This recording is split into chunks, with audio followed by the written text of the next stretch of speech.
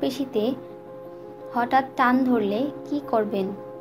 পরামর্শ দিয়েছেন বিশিষ্ট বাত ব্যথা প্যারালাইসিস ও রিহেব ফিজিও বিশেষজ্ঞ ডক্টর মোহাম্মদ শফিউল্লাহ প্রধান। ঘুমিয়ে আছেন। হঠাৎ পায়ের মাংসপেশির টানের ব্যথায় কাকিয়ে উঠলেন আপনি। এমত অবস্থায় পা সোজা বা ভাঁজ করা সম্ভব না। একটানা পা ভাঁজ করে রেখে হঠাৎ সোজা করতে গেলে পায়ের পেশিতে টান পড়ে তখনই পায়ের পেশিতে বা রগে প্রচণ্ড ব্যথা অনুভূত হয়। এমনটা ঘুমের মধ্যে বা জেগে থাকা অবস্থাতেও হতে পারে।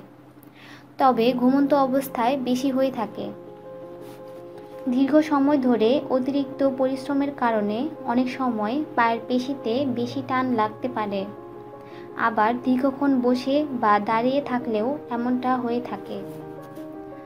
আরও নানান কারণে হতে পারে, যেমন পানি শূন্যতা, মাংসপেশি, রক্তে পটাশিয়াম, ক্যালসিয়াম ও ম্যাগনেশিয়াম ও ম্যাগনেশিয়ামের অভাব, কিছু ওষুধের পার্শ্ব প্রতিক্রিয়া যেমন হাইপারটেনশন, কোলেস্টেরল, কয়েকটি বিশেষ ভিটামিনের অভাবে যেমন vitamin B one, B six, B twelve. কিছু বদভ্যাসের কারণে যেমন ধূমপান মদ পান ধূমপায়ীদের পায়ে রক্ত চলাচল কম হয় বলে সামান্য হাঁটাহাঁটিতেই তাদের পায়ে টান লাগে। গর্ভাবস্থায় বিভিন্ন স্নায়ুতে চাপ পড়ে থাকে। তাই ও সময় পায়ের পেশিতে টান লাগা স্বাভাবিক ব্যাপার। আবার হাইপোথাইরয়েডিজম, কিডনি ফেইলর, মেনস্ট্রুয়েশন, গর্ভসঞ্চার ইত্যাদি কারণেও পেশিতে টান লাগতে পারে। পেশিতে টান পড়লে যে পায়ের পেশিতে টান পড়ল, দ্রুত সেই পায়ের পেশিকে শিথিলায়ন বা রিল্যাক্স করতে হবে।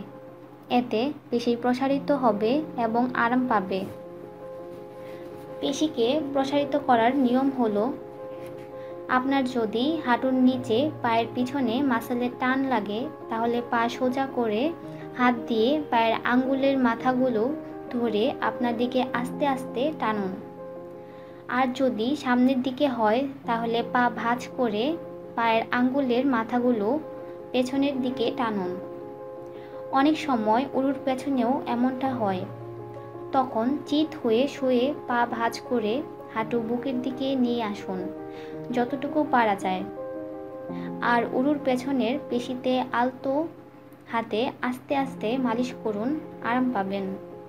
আর যদি পেশি শক্ত হয়ে আসে তখন ওয়াটার ব্যাগ বা হট ব্যাগের মাধ্যমে কিছুক্ষণ গরম সেক দিন আক্রান্ত পেশিতে।